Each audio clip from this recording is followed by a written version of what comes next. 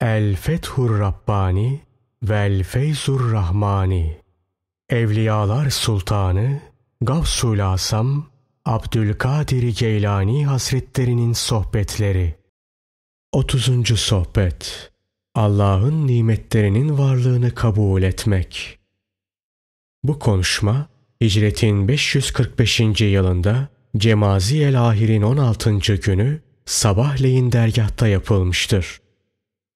Müjdeler olsun o kimseye ki İzzet ve celal sahibi Allah'ın nimetlerinin varlığını itiraf ve kabul eder ve hepsini ondan bilir, ona izafe eder ve gerek kendisini, gerek sebepleri, gerekse kendisinin kuvvet ve kudretini aradan çıkarır. Nimetleri bunlardan bilmez. Bilakis yalnız Allah'tan bilir. Akıllı o kimsedir ki İzzet ve celal sahibi Allah'a bir şey yüklemez.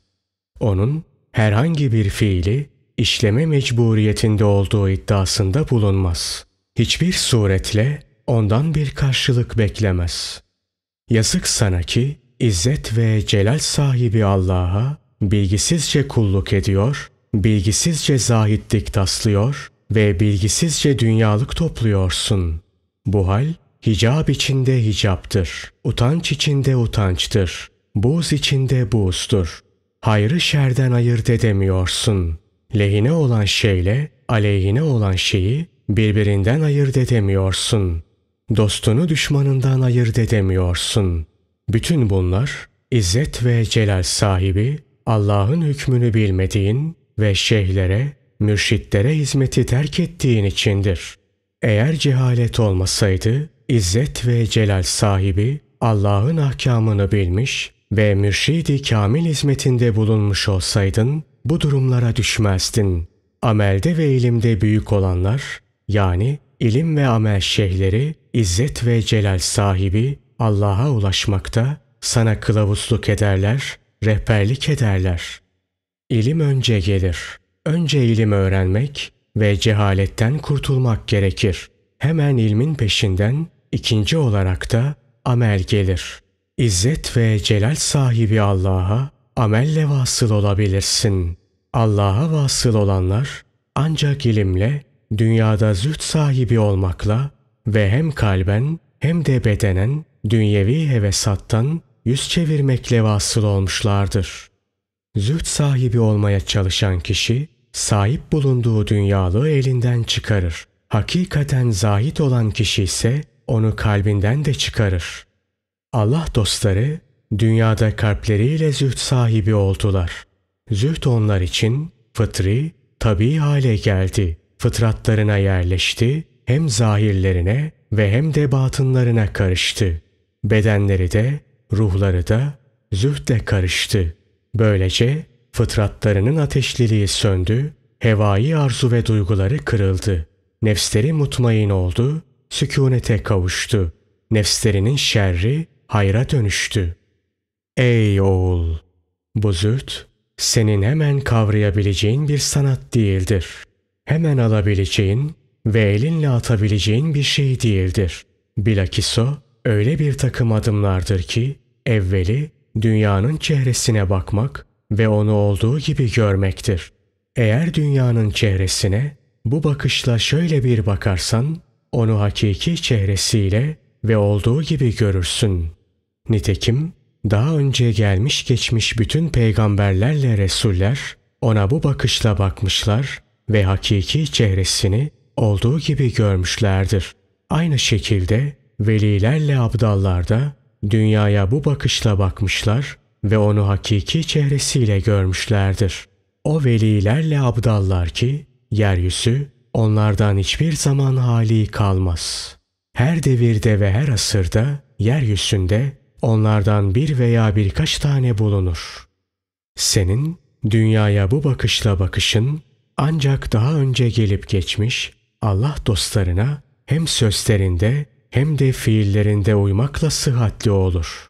Eğer daha önceleri gelip geçmiş Allah dostlarının hem sözlerine hem de amellerine uyarsan, işte o zaman dünyanın hakiki çehresine sıhhatli bir bakışla bakabilirsin.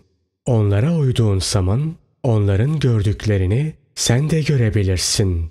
Gerek sözde ve gerekse fiilde, gerek gizli hallerde ve gerekse aşikare hallerde, gerek ilim yönünden ve gerekse amel yönünden, gerek sureten ve gerekse manen, gerek bedenen ve gerekse ruhen, Allah dostlarının yolunda bulunduğun, mesela onların orucu gibi oruç tuttuğun, onların namazı gibi namaz kıldığın, onların alması gibi aldığın, onların terk etmesi gibi terk ettiğin ve onların sevmesi gibi sevdiğin zaman, İzzet ve celal sahibi Allah sana öyle bir nur bahşeder ki, onunla hem kendini görürsün hem de kendinden başkalarını.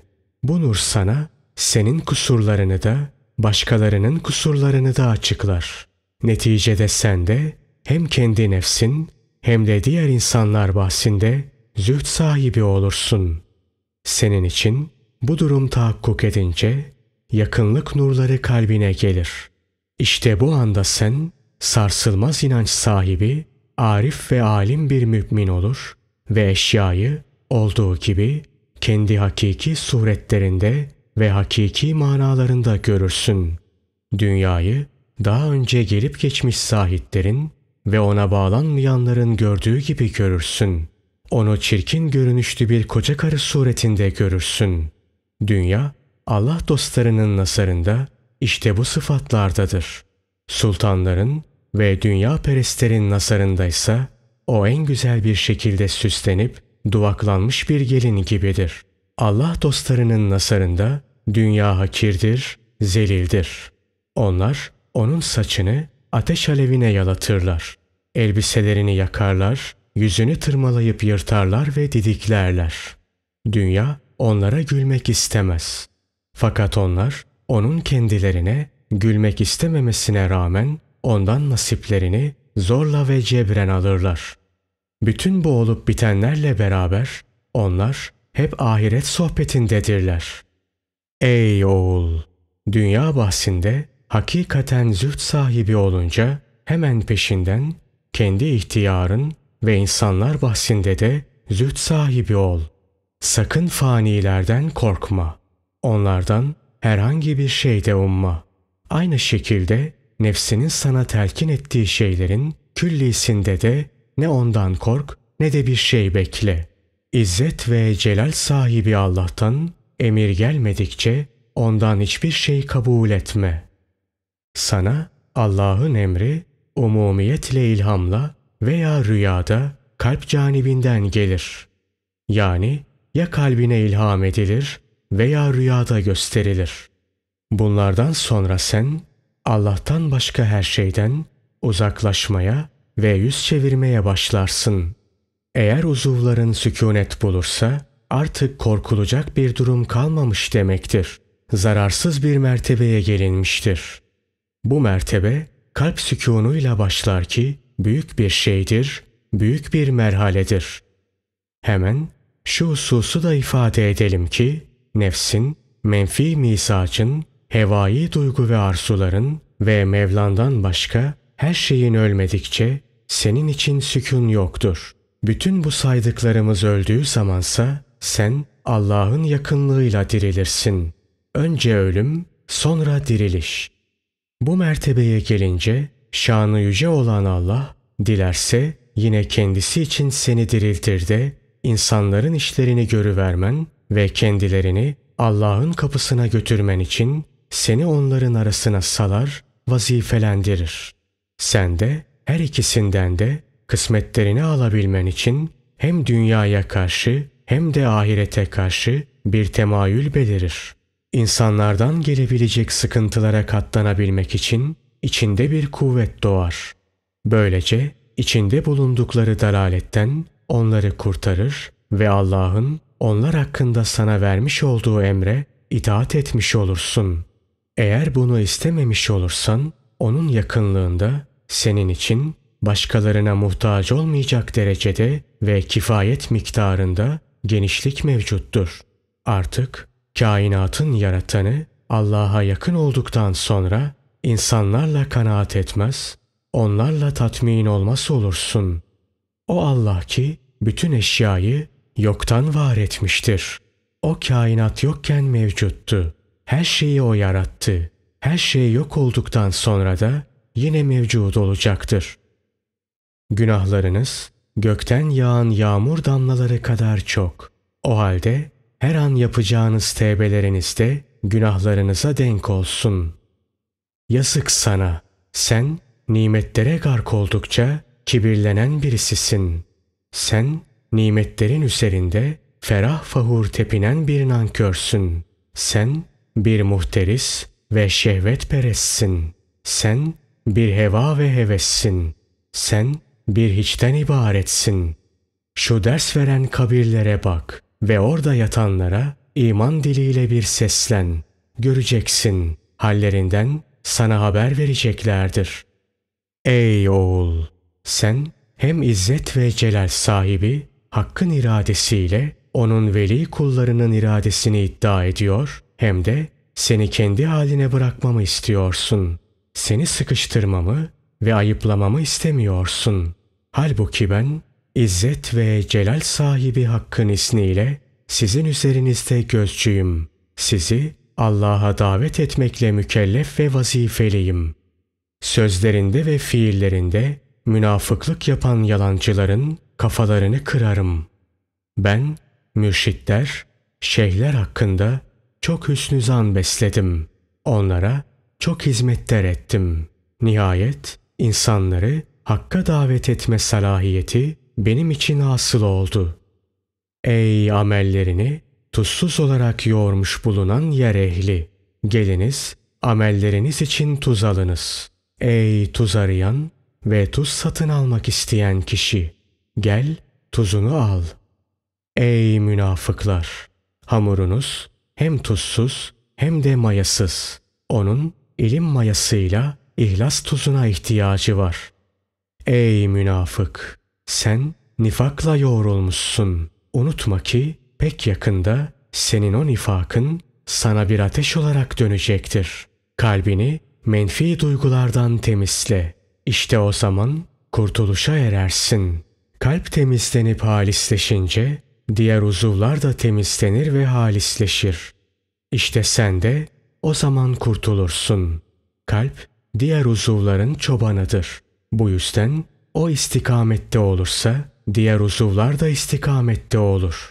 Hem kalp hem de diğer uzuvlar istikamete geldiği zaman müminin hali kemal bulur ve aile efradına da komşularına da bulunduğu beldenin ahalisine de sahip çıkar. Onların çobanı durumuna gelir.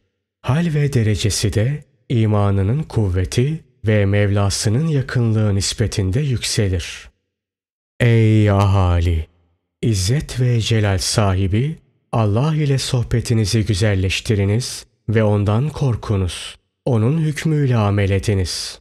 Zira hiç şüphe yok ki o sizi kendi hükmüyle amel etmekle mükellef tutmuş, yalnız sizin hakkınızdaki takdiri ilahisiyle meşgul olmanızı emretmiştir.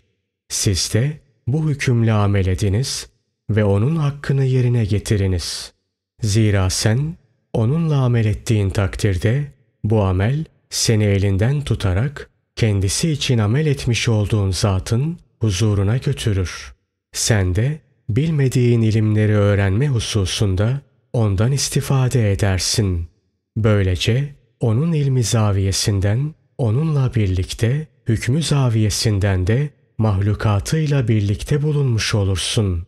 Sen ilk ameli işleyensin. Bununla ikincisini de isteyebilirsin.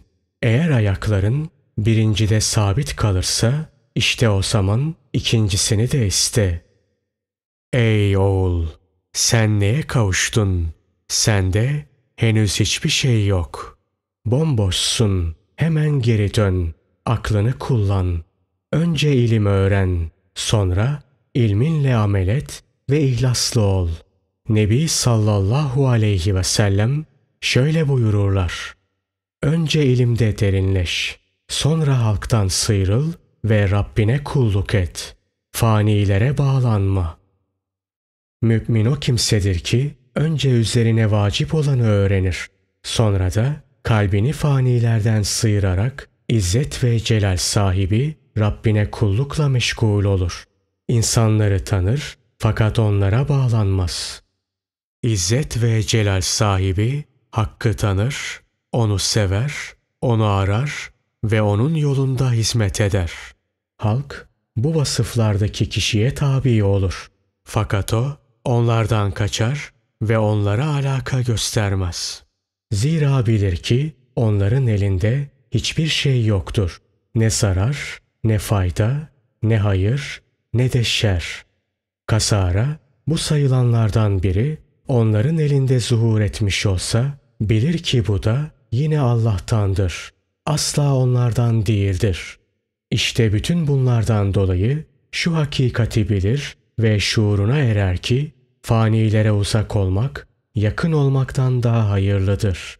Böylece fer'i bırakır, asla rücu eder. Çünkü bilir ki fer'i çoktur, asılsa bir tektir. Bu sebeple ona yapışır. Yani ezeli ve ebedi olan Allah'a yapışır. Fanilere meyletmez. Zira tefekkür aynasında görmüştür ki bir tek kapıda durmak birçok kapılarda durmaktan daha hayırlıdır. Bu sebeple o da bir tek kapıda durmuş ve ona yapışmıştır. Sarsılmaz inanç sahibi, ihlaslı mümin, aklı selim sahibidir. Ona akılların aklı bahşedilmiştir. İşte bunun içindir ki o fanilere bağlanmaktan kaçar ve uzaklaşır.